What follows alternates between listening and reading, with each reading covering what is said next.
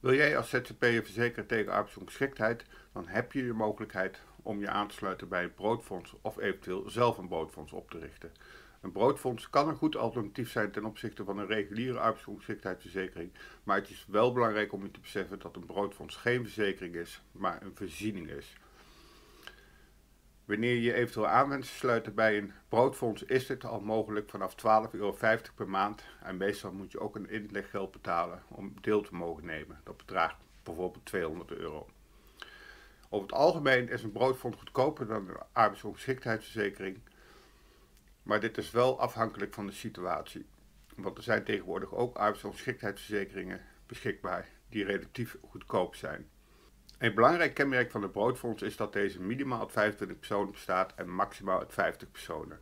Dit is bewust gedaan omdat een broodfonds draait op vertrouwen. Het is belangrijk dat de mensen binnen het broodfonds elkaar kennen. Mocht je nou ziek raken, dan zijn het de andere leden binnen het broodfonds die bepalen of je in aanmerking komt voor een uitkering. Hier heb je ook gelijk wel een nadeel te pakken, want de uitkering die je krijgt uit een broodfonds is over het algemeen niet heel erg hoog.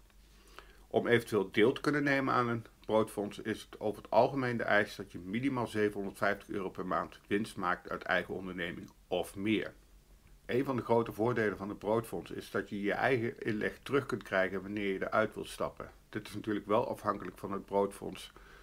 Zijn er geen uitkeringen geweest gedurende een bepaalde periode en is er voldoende geld beschikbaar, dan kun je je eigen geld terugkrijgen. Maar zijn er heel veel zieken geweest en is er geen geld meer, dan kan dat natuurlijk niet.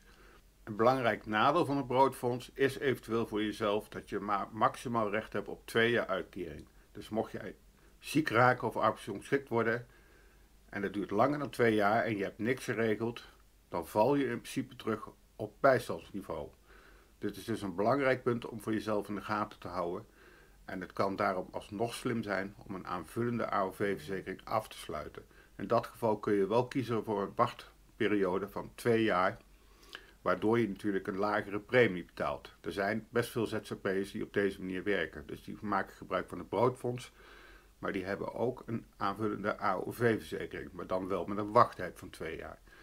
Mocht je nou voor jezelf eventueel bang zijn dat een broodfonds in financiële nood komt, omdat er bijvoorbeeld te veel uitkeringen zijn geweest, dan is het goed om te weten dat de meeste broodfondsen samenwerken met andere broodfondsen en die vullen elkaar aan wanneer dit nodig mocht zijn. Dus je hoeft op dat punt hoef je niet zozeer bang te zijn dat een broodfonds op een gegeven moment failliet gaat, want dat is over het algemeen wel ingedekt. Vanzelfsprekend, als je je aansluit bij een broodfonds, is dat wel raadzaam om even goed na te kijken voor jezelf. Mocht je deelnemen aan een broodfonds en je raakt op een gegeven moment ziek, dan is het goed om te weten dat de schenking die je ontvangt belastingvrij is. Het is overigens wel zo dat de premie die je maandelijks inbrengt niet fiscaal aftrekbaar is. Dit is wel het geval wanneer je eventueel gebruik maakt van een reguliere arbeidsongeschiktheidsverzekering. Een ander belangrijk punt is dat je geen recht hebt op reïntegratie wanneer je deelneemt aan een broodfonds. Daar is over het algemeen niks voor geregeld. Wanneer je gewoon een normale, reguliere arbeidsongeschiktheidsverzekering afsluit, dan heb jij de mogelijkheid om ook hulp in te roepen, bijvoorbeeld bij reïntegratie. Dat kan een belangrijk punt zijn voor jezelf.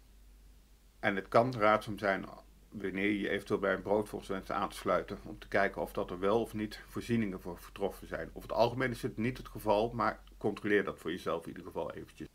Mocht je deelnemen aan het broodfonds en mocht je onverhoopt ziek worden, dan is dat gebaseerd op vertrouwen. Bij een reguliere arbeidsongeschiktheidsverzekering word je op een gegeven moment beoordeeld door een medisch specialist. Maar dat binnen een broodfonds niet het geval. Dan kunnen de andere leden bijvoorbeeld bepalen of dat jij wel of niet een uitkering ontvangt. Op dat punt is er dus ook een belangrijk verschil. Er zijn dus verschillende voordelen en nadelen met betrekking tot broodfondsen. Wil je als ZZP naar 100% zekerheid, dan is het verstandiger om te kiezen voor een reguliere arbeidsongeschiktheidsverzekering. De laatste jaren zijn de aanbieders van arbeidsongeschiktheidsverzekeringen ook wat flexibeler geworden en je kan een langere looptijd kiezen, de eindtijd kun je bepalen en er zijn allemaal opties die je wel of niet kan selecteren, waardoor uiteindelijk de premie ook lager wordt. Dat hebben ze ook wel bewust gedaan, omdat ze ook wel de concurrentie van de broodfondsen zagen. Dus daar hebben ze wel op ingespeeld. Dus het is belangrijk om voor jezelf die afweging te maken. Maar wil je 100% zekerheid, dan zou ik zeggen, kies zeker voor een reguliere arbeidsongeschiktheidsverzekering. Een broodfonds kan een goed alternatief zijn, maar dat is wel afhankelijk van je eigen situatie en je persoonlijke voorkeur. Ik wil in ieder geval nog even melden dat we in de omschrijving van deze video verschillende linken opgenomen hebben naar relevante artikelen die gaan over dit onderwerp. En ik wil je bedanken voor het kijken en ik zou zeggen tot de volgende video.